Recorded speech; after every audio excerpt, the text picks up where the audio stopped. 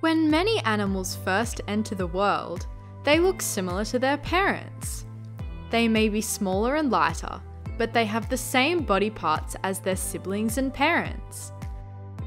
A puppy looks like a small dog, and a baby turtle looks a lot like an adult turtle. Other animals look very different to their parents. A young frog, called a tadpole, looks nothing like an adult frog.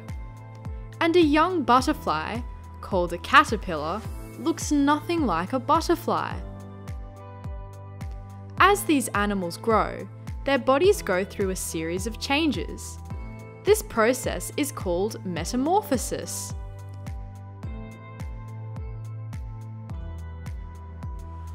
Some animals go through partial or incomplete metamorphosis. A young grasshopper, called a nymph, resembles an adult but lacks wings and reproductive organs. These develop as the animal grows. Many other insects, like butterflies, mosquitoes, and ladybugs, go through complete metamorphosis, whereby their bodies change entirely as they grow.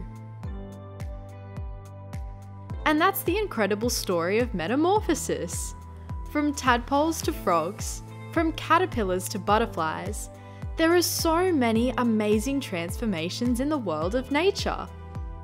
So, next time you see a butterfly or a frog, remember that they started out just like you small, curious, and ready to explore the world around them. Who knows what amazing transformations you'll go through in your own life?